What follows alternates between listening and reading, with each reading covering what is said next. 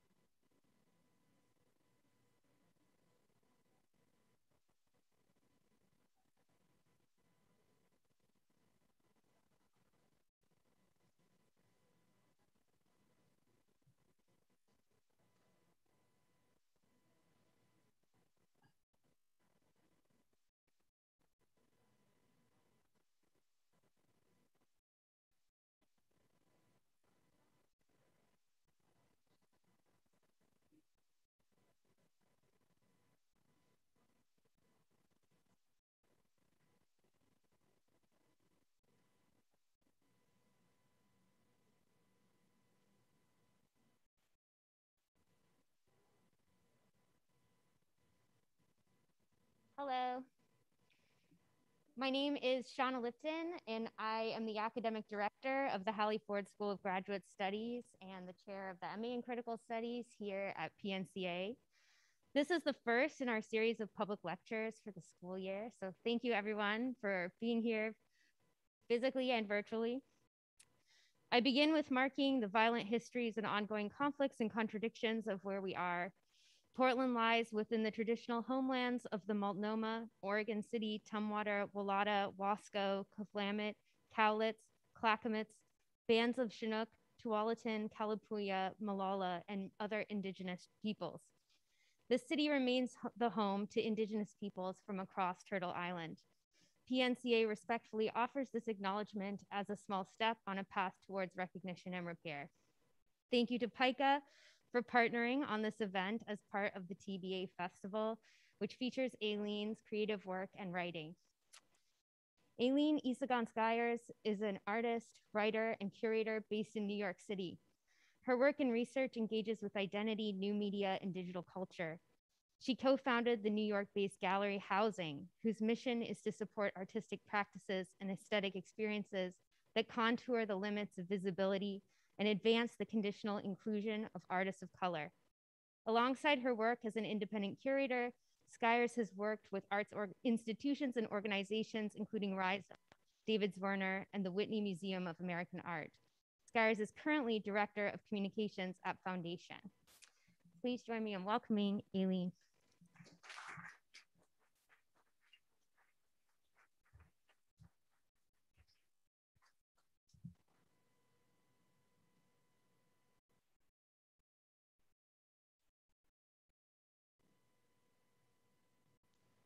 Evening, everyone. Um, first of all, I'd like to thank Shauna Lipton, chair of the Critical Studies program here at PNCA, and I'd like to extend my gratitude to Kristan Kennedy and Broya, as well as Leslie at PICA for working with me to produce my online presentation for TBA, as well as the Who Cares Clock publication. Um, if anyone would like a copy, please let me know after the talk. Um, briefly reintroduce myself. I'm Eileen. I was born in Manila, Philippines, and grew up in Tampa, Florida. I studied studio art, art history, and philosophy before completing my master's degree here at PNCA.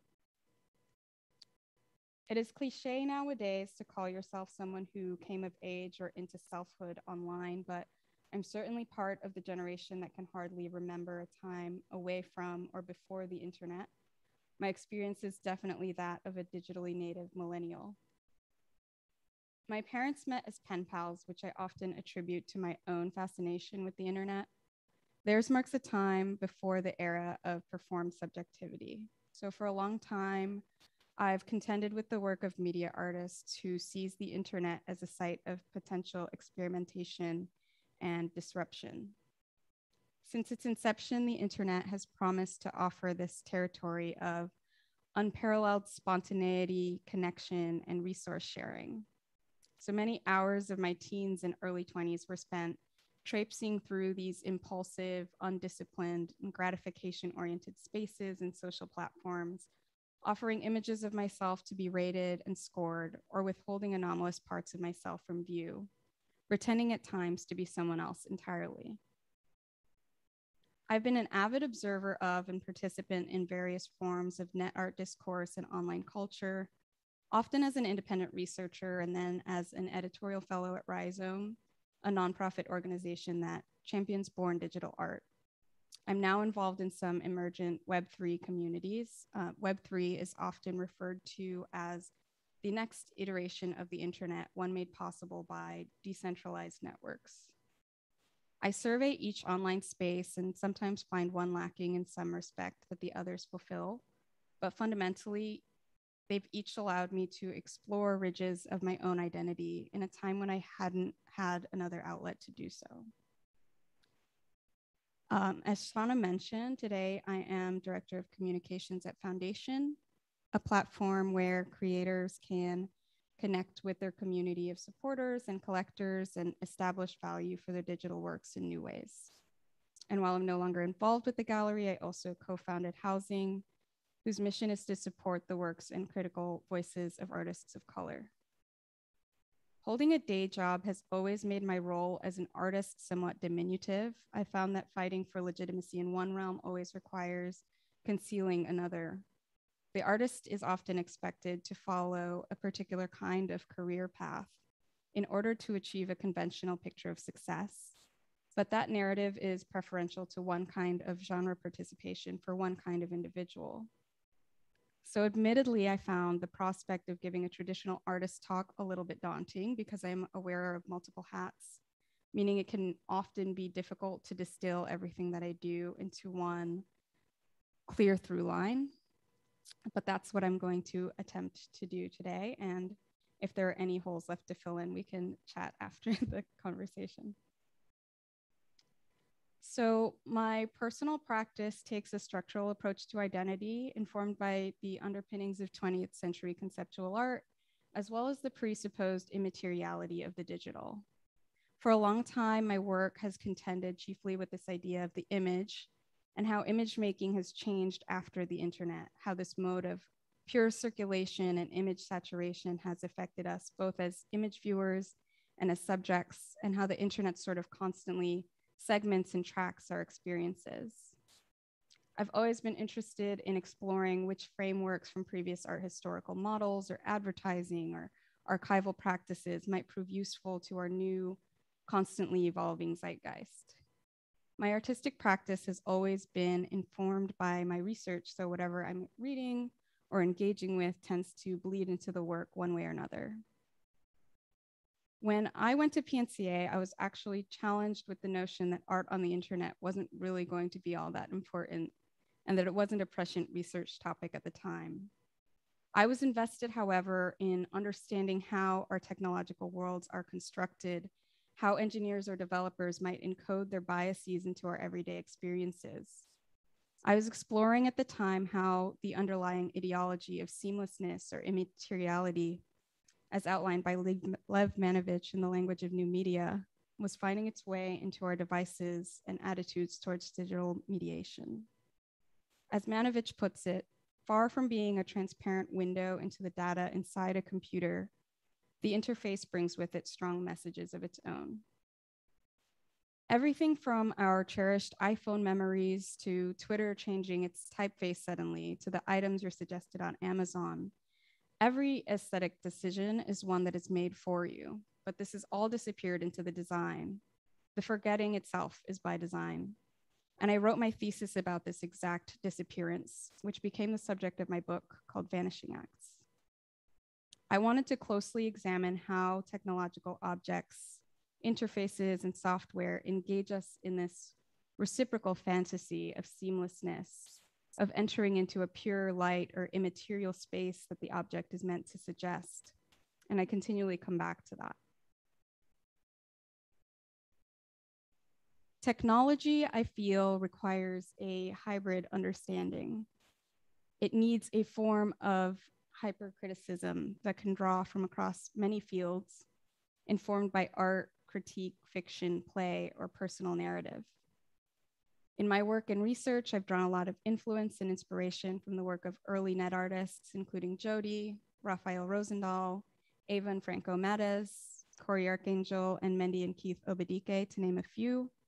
Artists I felt who were making works that challenged our approach to networked culture, or that actively expose the temporal and spatial modes of the virtual. So I want to share a fairly early video I made, which exhibited at my solo show called New Contact here in Portland and at a festival in the Netherlands, among other spaces. It's about seven minutes long, com composed almost entirely of found footage, but there are some personal shots interspersed here as well.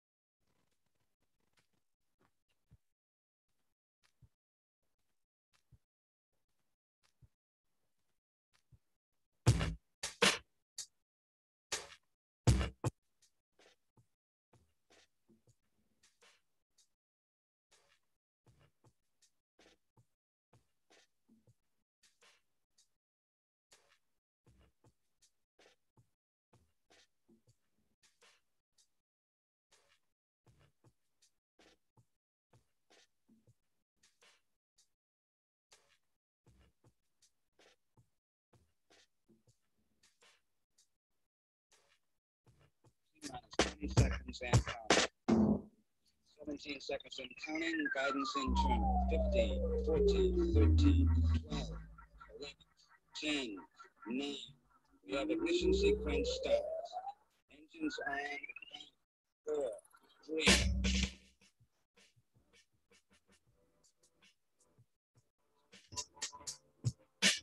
3,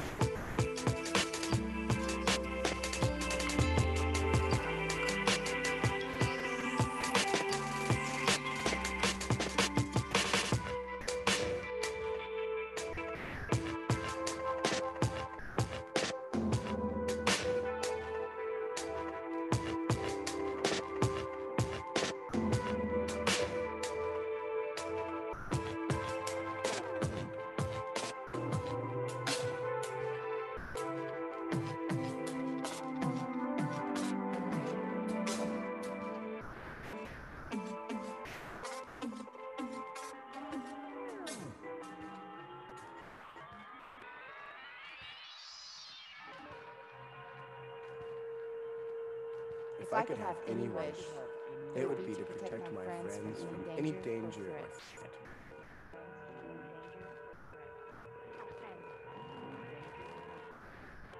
I wish my I dad wish my dad was here.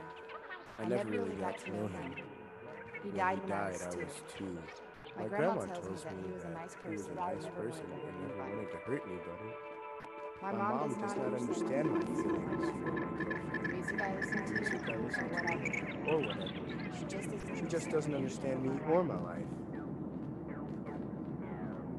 The The worst day of my life was when when my brother and and his best friend friend drowned. drowned in the creek.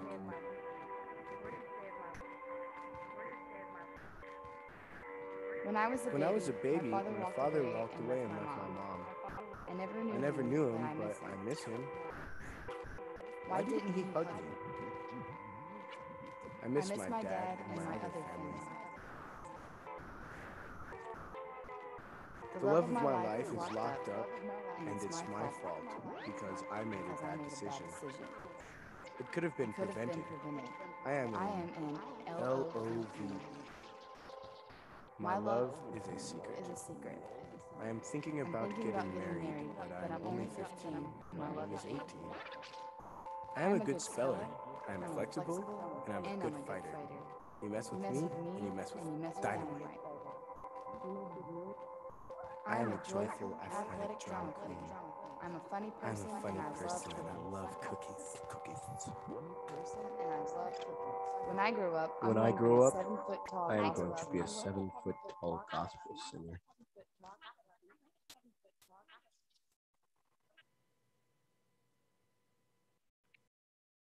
In this video, which I've already grown to feel a strange distance from, I really wanted to think through how we are trained to desire and emote and express ourselves across network space.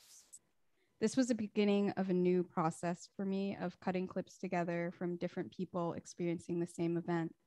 In this case, an oncoming storm viewed from multiple angles. It's so fascinating to me how desire is collectively expressed on the internet and how the internet produces these social codes for expressing one's position in the world, whether through a selfie or political infographic, a carousel, or a meme. There is this formation or reproduction of selfhood online and through images. And I started thinking about having a fixed identity that is formed, reproduced, and circulated through technologies of control like surveillance and algorithms. Rather than trying to interrogate the meaning behind a digital object as a manifestation of one's identity, I wanted to question how did this digital object come to me? How does it change in proximity to me and because of my proximity to it? So I co curated this exhibition with Iris Williamson called To Feel What I Am, which meant to examine some of those intricacies and contradictions and to look closely at our vulnerabilities in relation to technology.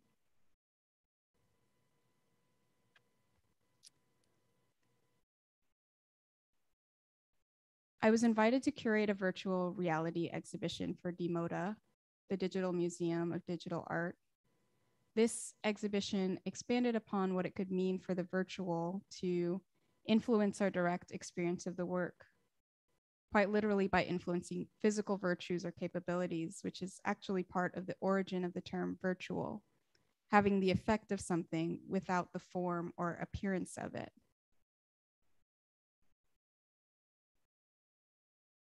In a VR exhibition, unbound by the constraints of a physical walled space, works can take on these fantastical, spatial, entirely new frames of reference.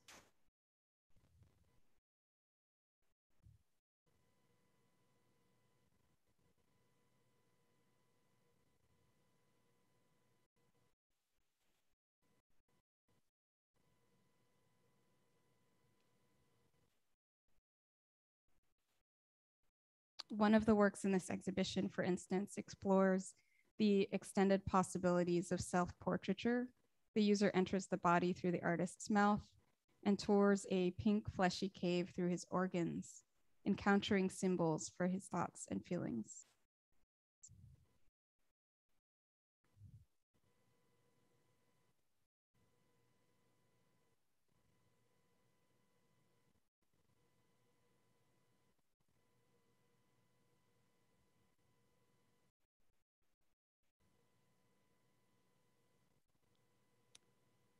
Conceived as a virtual institution, DiMoDA traveled across different destinations, displayed in Cologne, New York, Pittsburgh, and the RISD Museum, among other locations. Much of this work was being done in tandem with my full time job working for Ace Hotel at the time. I wasn't afforded the luxury of a full time curatorial study or an art studio in New York for many years, and I would often work as a studio assistant or help out with grant writing on and off in exchange for a set of keys to work from a different artist's studio. Many of you might recall this image, which circulated widely within various art communities online in relation to the art world's responses to the 2017 Whitney Biennial, specifically to the artist Dana Schutz's painting of Emmett Till, titled Open Casket. You may also recall the response provided by the museum to address the open letter against the painting circulated by artist Anna, Hannah Black, which was penned with the signatures of countless artists, writers, and supporters.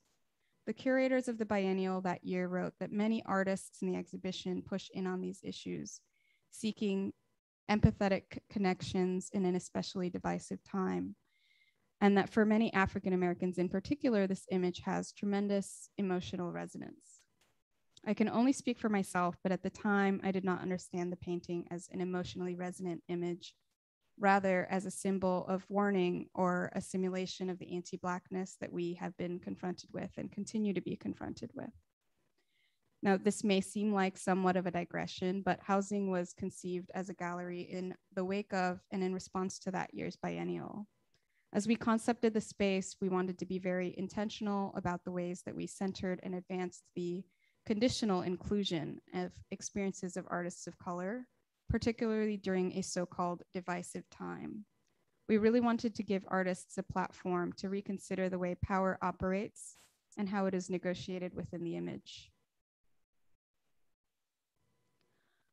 On the internet, our subjectivities are routinely flattened to such a degree that many of us who are fighting for recognition on a broader scale only wind up using it to further objectify ourselves, feeding the very tools and algorithms that seek to control us.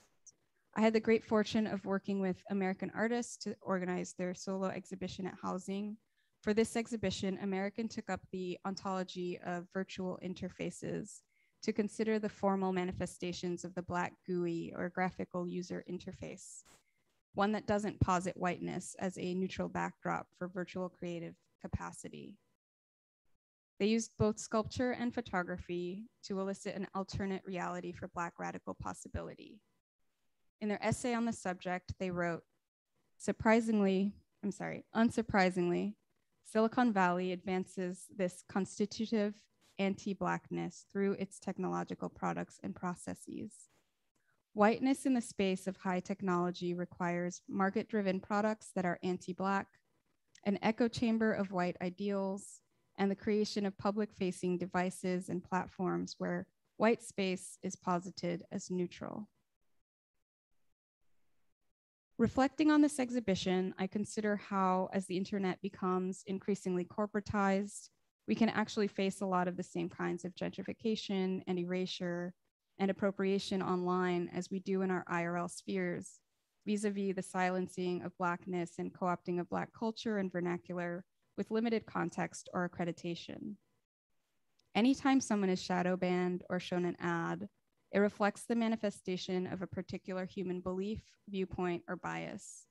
Censors on Facebook, for instance, were said to have been trained to remove hate speech against certain protected categories, but to permit attacks on subsets such as female drivers and Black children.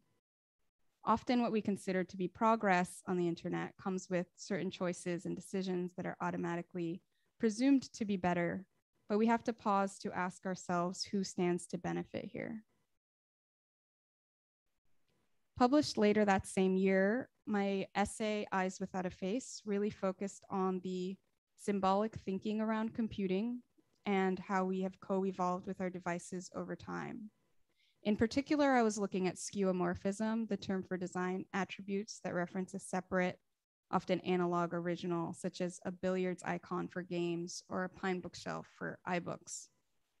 To read a short excerpt from the text, the presentation of familiar desktop paraphernalia on the Apple Lisa or Windows 95 made their capabilities quite clear.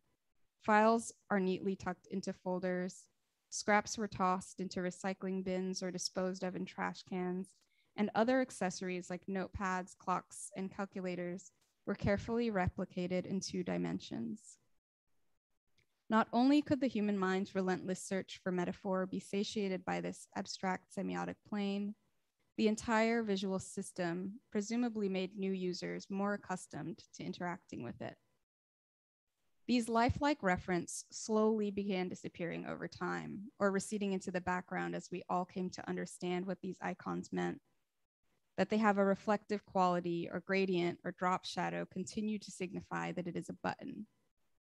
The human interface guidelines provided by Apple for its developers even list requirements for the size and quality of the app icon. And these guidelines consider the user's ability to see a symbol just as much as the device's ability to rank, recognize a fingertip when it's touched. So there's this reciprocal relationship between human and device that actually became really fascinating to me. At the same time, I was producing this series of works for a solo exhibition here in Portland. For the two channel piece shown here on either side, I removed the polarizer filters from two LCD screens. Polarizing filters are typically used to improve color and definition, making it possible to see images on the screens of LCDs. Intentionally using these screens without polarizer film, I wanted to them to only emit a single uniform illum illumination. Hovering a translucent polarizer filter above the bright white light, a video of distorting faces could be seen almost literally within the viewer's hand creating this piece was the first time in a while that I'd really had this uncanny sensorial experience with technology. I'm going to play another video now um, from this exhibition, which is called Song to Preface Sleep. And it's usually installed with a two sided security mirror.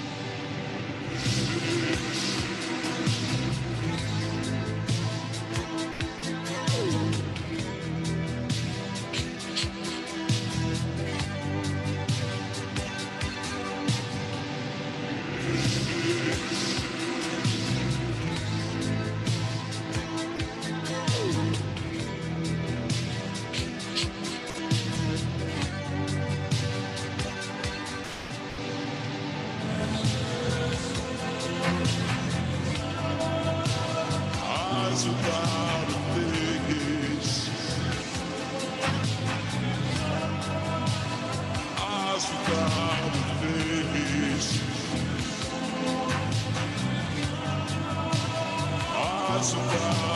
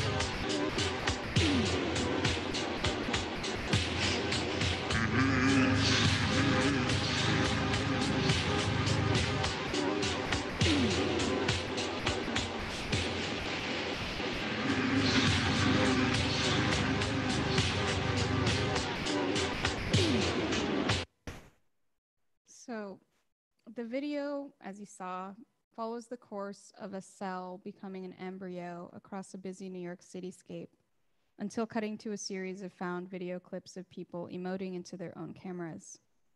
And because of the two sided security mirror that is typically installed with this work, during lapses in the footage, viewers periodically recognize their own reflections in the mirror, in a sense, taking on a role of performers themselves. I've spent a good part of my career questioning the realm of the public sphere and the negotiation of art within it. Two years after the art world was punctured by the aforementioned controversy of the open casket painting, I was offered an opportunity to work with the Whitney Museum and remained in that position during the lead up to the 2019 biennial, a time now marked by the Warren Kanders debacle with Safariland, which has by now expired. For those who don't know, Kanders was the then vice chairman of the board of the directors at the Whitney. He donated millions of dollars to the museum, but a campaign against him transpired after it was revealed that tear gas from his munitions company, Safariland, had been fired at migrants at the border. So calls to action were set forth by organizations like Decolonize This Place, often via Instagram and other social media outlets. Managing the museum's multiple social media accounts at the time, I had a very intimate view of the sentiment of deep seated rage and conflicted attitudes of the public aimed at the institution. I feel like I've now witnessed the complicity required to mask some of the harsh realities of the art world so that it can maintain this facade of its own altruism. But the real values of the art world, art world, excuse me, I feel are expressed very clearly if we pay close attention to the decisions being made within it. Kanders eventually resigned in 2019, a while after I'd left my position at the museum and began working at David Zwirner. But in retrospect, I really struggled during that time in my career as both an immigrant and an artist. And I believe my personal work ultimately really suffered for it. At David Zwirner, I was an editor for the gallery's online sales team, where I concepted and created online viewing rooms or digital exhibitions, which are considered an extension of the gallery's physical exhibition spaces. Pictured here are works by Wolfgang Tillmans and Josh Smith from the online exhibition Playing with Scale. I would say that the role made me hyper aware of the extent to which the browser based exhibition, which has been around since the 1990s, has this unique potential to shift and garner new relevance and new forms of institutional adoption over time. Today, stakeholders in the Web3 space are also returning to the format to emphasize what technology can and can't do for digital art.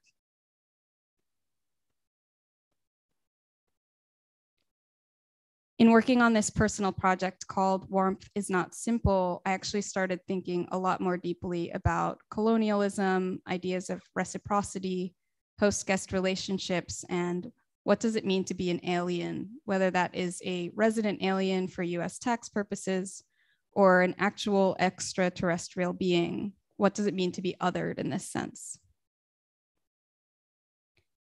I wrote an essay which coincided with this exhibition that I organized in Helsinki and online um, after being invited to a curatorial residency there by the Finnish Cultural Institute of New York. The text really looks at our contemporary anxieties and fixations, at alienation in a broader sense, and at our inability to collectively cope, specifically in the wake of defeat or hardship. Today, it seems that before we're even able to shape an informed opinion or grieve about a particular crisis, our attention has been diverted and the global conversation has already shifted or steered our emotional reactions in multiple different directions. Our relationship to technology now underscores our relation to everything to art, design, education, politics, and other people. And I don't think I would necessarily be able to write about technology effectively if I didn't also connect with artists who have worked with it so closely.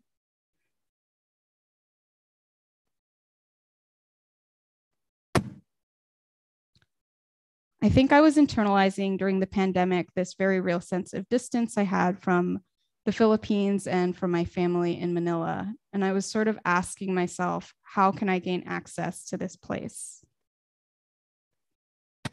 So I did the only thing I knew how to do, and I started creating short videos of found footage, news footage, archival photographs of obscure events, spliced together with pop culture and internet references, loosely binding these disparate elements with fragments of history of the familial, cultural, and personal. I wanted to embed some of my own heritage in the work while grounding it in my fundamentally American experience. So the series, which I'll share one short video from, draws from this traditional Filipino concept of shared or collective identity known as kapwa. I was originally posting these videos on Instagram Reels because at the time I felt that's where they'd find their broadest audience. And that's also where PICA has been sharing these videos over the course of this week.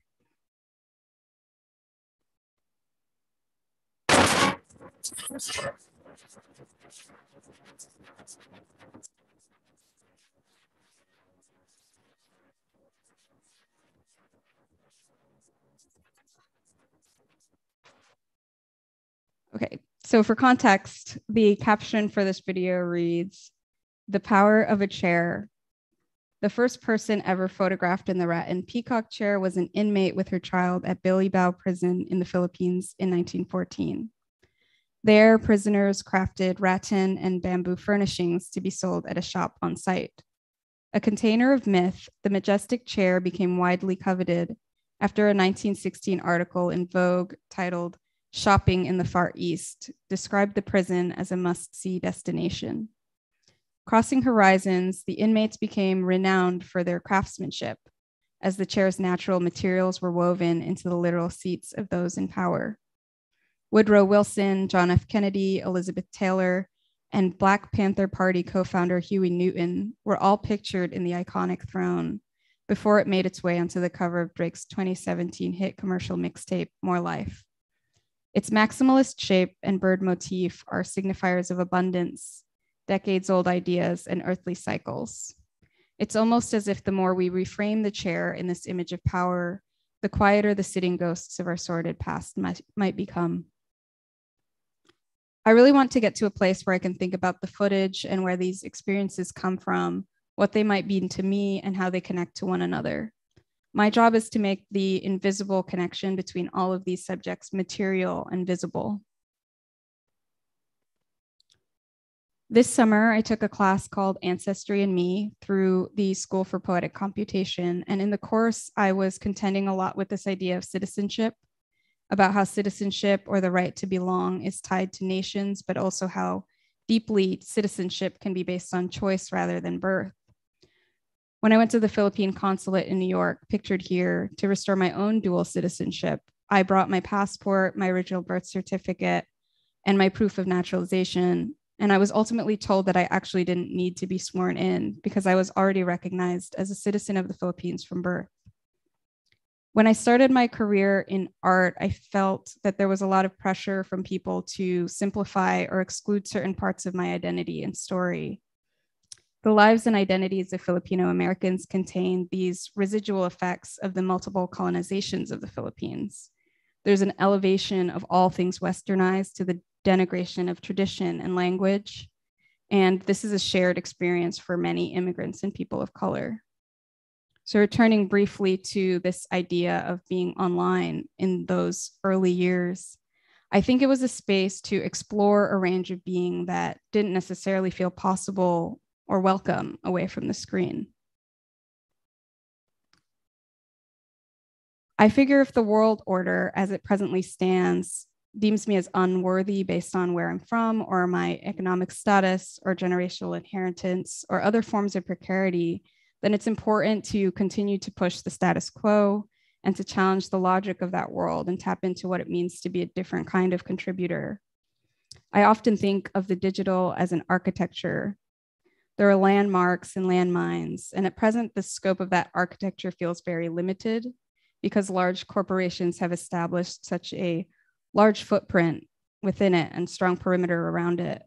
But it's important to recall that those infrastructures are not fixed or permanent. Standing at the precipice of what feels like the internet's next revolution, I question whose utopia is being built here and by whom? Are there ways for us to explore the internet and vernacular of the digital to navigate these very spaces, but do so standing outside of them so that we can critique them and pr- approach them with a careful intentionality? Thank you.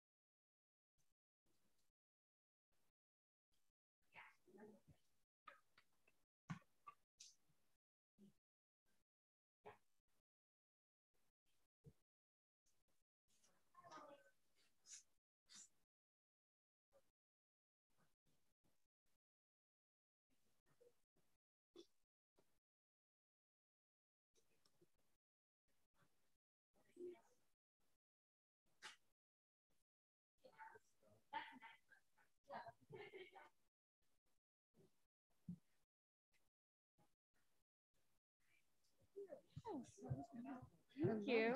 Aw, Interesting. Thank Are you. you all? Oh, I'm we- all good. Did you get your power? Oh, I need that and then my dongle, but otherwise, we have we solved the extension cord issue by.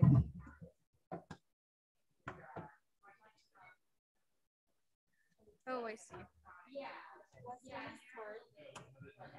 thank you. Thank you so much. That was such an exciting talk. Oh, I'm glad you liked it. It was a little, I felt like it was a little meandering, but that's how it had to be.